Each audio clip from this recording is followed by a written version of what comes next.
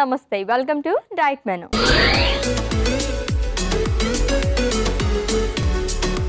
So వారిలో మనం last ఇయర్లోకి enter అయిపోయామండి. ఈ వీక్ మొత్తం కూడా సమ్మర్ కిడ్స్ న్యూట్రిషన్ గురించి చాలా విషయాలు డిస్కస్ చేసుకున్నాం అండ్ అలాగే మంచి రెసిపీస్ కూడా ప్రిపేర్ చేసేసుకున్నాం. సో లాస్ట్ డే కాబట్టి ఒకసారి రివైజ్ చేసుకుంటూ ఈ రోజు ఏం రెసిపీ చేస్తారో చూద్దాం. Let's invite our nutritionist Alekhya garu. Hello Lekhya గారు. వెల్కమ్ అండి. థ్యాంక్ యూ ఎలా ఉన్నారు? సూపర్ మీరు? నేను కూడా చాలా చాలా బాగున్నాను. సో సమ్మర్లో కిడ్స్ న్యూట్రిషన్ గురించి మాట్లాడుకుంటున్నాం. సో వాళ్ళకి తగ్గట్టుగానే ఎమ్మి రెసిపీస్ చేశారు ఈ రెండు రోజులు కూడా. టేస్ట్ కంటే లుకింగ్ వైజ్ చాలా బాగుండేలాగా చూసుకున్నాం. అవును. సో ఫస్ట్ అదే ఇంపార్టెంట్ కాబట్టి వాళ్ళకి మనం ఆ వేలో వెళ్ళాం అనమాట సో లాస్ట్ డే కాబట్టి ఒకసారి రివైజ్ చేసుకుందాం. యా ఖచ్చితంగా. అండ్ ఈ రోజు ఏం రెసిపీ చేస్తున్నారు? సో ఈరోజు వచ్చేసరికి మనం కోకోనట్ మిల్క్ షేక్ చేసుకుంటాం కోకోనట్ మిల్క్ షేక్ ప్రిపేర్ చేస్తారంటే మరి దీనికి కావాల్సిన పదార్థాలు అంటే ఇప్పుడు చూద్దాం. కోకోనట్ మిల్క్ షేక్ కావాల్సిన పదార్థాలు. కొబ్బరి ముక్కలు యాలకుల పొడి నానబెట్టిన బాదం పప్పు నానబెట్టిన జీడిపప్పు బ్రౌన్ షుగర్ పాలు vanilla ice cream. Coconut milk shake కావాల్సిన పదార్థాలు చూసాం కదండి ప్రాసెస్లోకి వెళ్ళిపోదాం. ఓకే కోకోనట్ మిల్క్ షేక్ పిల్లలకే కాదు జనరల్గా పెద్దవాళ్ళకి కూడా మిల్క్ షేక్స్ ఇవన్నీ అంటే చాలా ఇష్టం. దట్టు ఈ సమ్మర్లో ఎక్కువగా కోకోనట్ ఫ్లేవర్స్ ఇష్టపడుతూ ఉంటారు చాలామంది. నాకు ఇష్టం పర్సనల్గానే ఓకే ఎలా చేస్తారు ఏంటి ఫస్ట్? సో అశ్విని ఫస్ట్ మనం లేత కొబ్బరిని చిన్నగా కట్ చేసుకుందాం. ఓకే.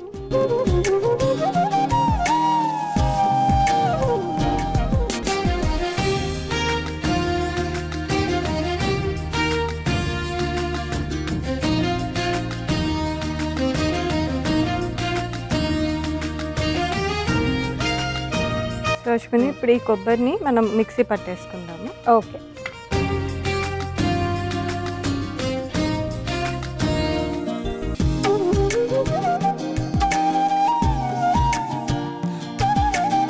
సో ఈ కొబ్బరిలో కొద్దిగా కొబ్బరి నీళ్ళు వేసి మనం మిక్సీ పట్టుకుందాం ఓకే.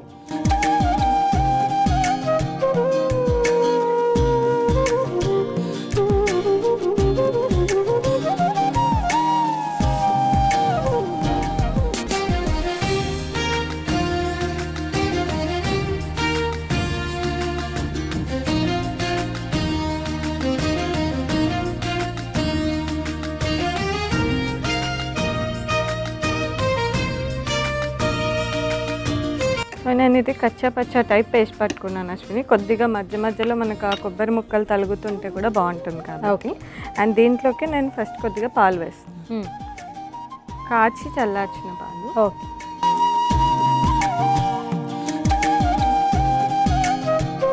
ఒక స్పూన్ వరకు బ్రౌన్ షుగర్ వేస్తాను. ఓకే. అండ్ కొద్దిగా యాలకుల.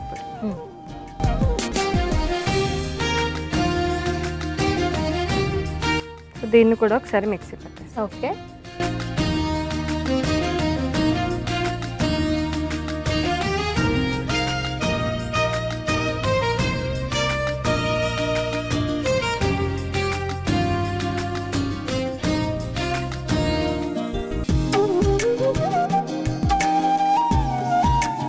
సో ఇలా మెత్తగా పేస్ట్ లాగా చేసేసుకోవాలి. ఓకే.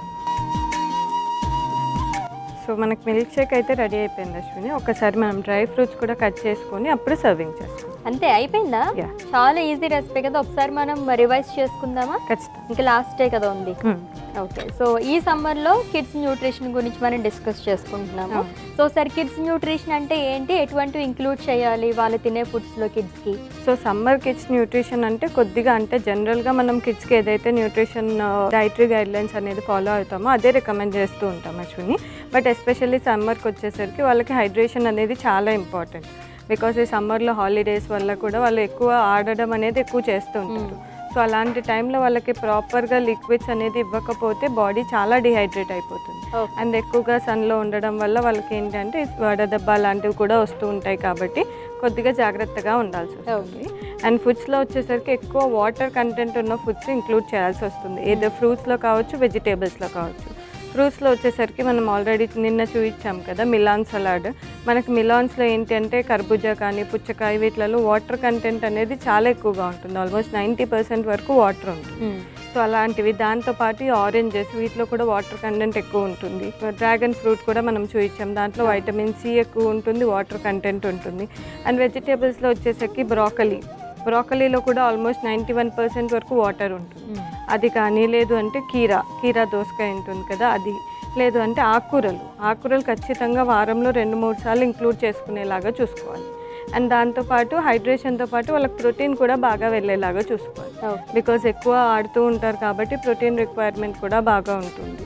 సో కొద్దిగా ప్రోటీన్లో కూడా మనం ఎక్కువ చికెన్ అలాంటివి ఇవ్వకుండా వెజిటేరియన్ ప్రోటీన్ సోర్సెస్ అనేది ప్రిఫర్ చేస్తే బెటర్. ఓకే. ఎక్కువ ఆడుకున్నప్పుడు కూడా వాళ్ళకి. డిహైడ్రేట్ అయిపోతూ అవును. ఆల్రెడీ అనుకున్నాం కదా. సో ఎలక్ట్రాల్ పౌడర్స్ దానికన్నా చాలా మంది ఇప్పుడు ఇన్స్టెంట్గా వచ్చేసిన ఓఆర్ఎస్ అవి ఇచ్చేస్తారు. అవి ఎంతవరకు మంచిది? అది మంచిది కాదు అశ్విని. అంటిల్ అన్లెస్ ఎమర్జెన్సీ ఉంటే అలాంటివి యూజ్ చేయాలి. లేకపోతే మనము చూపించాం కదా లెమనేడ్ కానీ కుకుంబర్ మింట్ లెమనేడ్ ఇలాంటివి హోమ్ మేడ్ ఇంట్లో చేసుకునేది లేదు అంటే గుల్కంద్ అనేది దొరుకుతుంది. అది కూడా వాటర్లో కలిపిస్తే కూడా చలువ అనమాట అండ్ నార్మల్ షుగర్ బదులు మనకు పటిక బెల్లం అని దొరుకుతుంది. సో అట్లా చిన్న చిన్న చేంజెస్ అనమాట కంప్లీట్ బ్యాలెన్స్ డైట్ ఫాలో అవుతూనే ఇలాంటి చిన్న చేంజెస్ అనేవి చేసుకుంటే వాళ్ళకి ప్రాపర్ న్యూట్రిషన్తో పాటు ఈ సమ్మర్లో ఎటువంటి లైక్ హెల్త్ ఎఫెక్ట్స్ రాకుండా ఉంటాయి. మనకి మిల్క్ షేక్ రెడీ అయిపోయింది. మనం నానబెట్టుకున్న జీడిపప్పు ఇంకా బాదం పప్పుని ముక్కల్లాగా కట్ చేస్తాం.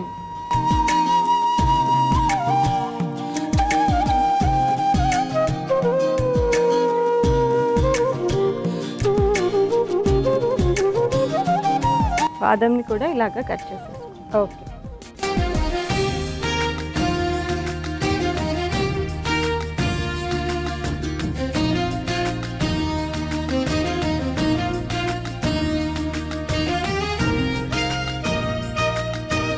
సో వీటిని ఇలా కట్ చేసేసుకున్నాం అశ్విని. నెక్స్ట్ మనం సర్వింగ్ చేసుకుందాం. ఓకే. పచ్చి టెంకాయలో కొబ్బరి ఆల్రెడీ ఇందాక చూపించాం కదా సో దాంట్లో యూస్ చేసుకున్నాము. ఆ టెంకాయని మనం ఇలా నీట్గా క్లీన్ చేసేసుకొని మనం ఆల్రెడీ చేసుకున్న మిల్క్ షేక్ని దీంట్లో సర్వ్ చేసి వాళ్ళకి ఇస్తే అపియరెన్స్ బాగుంటుంది. సో దానివల్ల కూడా ఈజీగా తీసేసుకుంటాం. ఓకే డన్ సో మనం చేసుకున్న మిల్క్ షేక్ని దీంట్లో వేస్తున్నాం.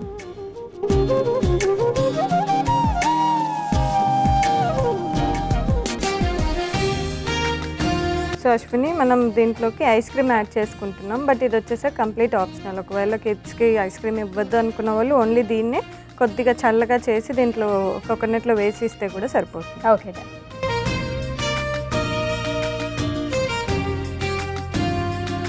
సో దీని మీద మనం కట్ చేసుకున్న డ్రై ఫ్రూట్స్ వేసుకుందాం.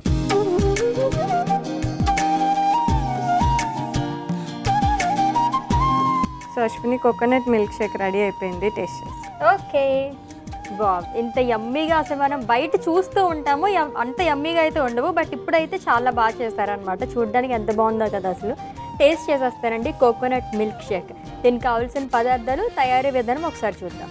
కోకోనట్ మిల్క్ షేక్ కావాల్సిన పదార్థాలు కొబ్బరి ముక్కలు యాలకుల పొడి నానబెట్టిన బాదం పప్పు నానబెట్టిన జీడిపప్పు బ్రౌన్ షుగర్ పాలు vanilla ice cream.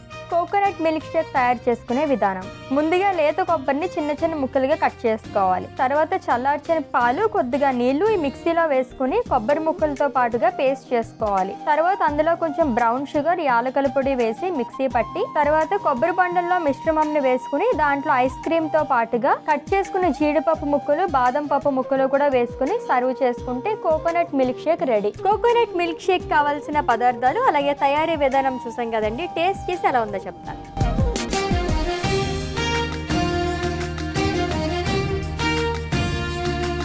చాలా టేస్టీగా ఉందండి. సో ఇంట్లోనే చాలా హెల్దీగా కూడా మనం ప్రిపేర్ చేసేసుకోవచ్చు అనమాట సో కిడ్స్ అని పేరు పెట్టినందుకు నిజంగా రెసిపీస్ అయితే చాలా బాగా చేస్తారు. వాళ్ళైతే బాగా ఎంజాయ్ చేస్తారు అనమాట అంత టేస్టీగా ఉంది. అంటే నేనే ఎంజాయ్ చేస్తానంటే పిల్లలు ఇంకెంత ఎంజాయ్ చేస్తారు. అండ్ చాలా ఈజీగా కూడా చేయించాం అశ్విని. అండ్ ఇదే మనకు బయట కూడా దొరుకుతుంది. బట్ అన్హైజీన్ కండిషన్స్లో ఉంటుంది. సో పిల్లలకి అది ప్రిఫర్ చేయడం కంటే ఇలా హెల్తీగా ఇంట్లో చేసుకుంటే సరిపోతుంది. అవును. Thank you so much thank you yes ఈ వీక్ మొత్తం కూడా మనం సమ్మర్ కిడ్స్ న్యూట్రిషన్ గురించి చాలా విషయాలు డిస్కస్ చేసుకుని ఎమ్మె ఎమ్మె రెసిపీస్ కూడా ప్రిపేర్ చేసుకున్నాం కదండి. మీరు కూడా మీ పిల్లలకి ఇవన్నీ ఇచ్చేసేయండి. అండ్ నెక్స్ట్ వీక్ మళ్ళీ మీట్ అవుదాం until then check this is Ashwini signing off bye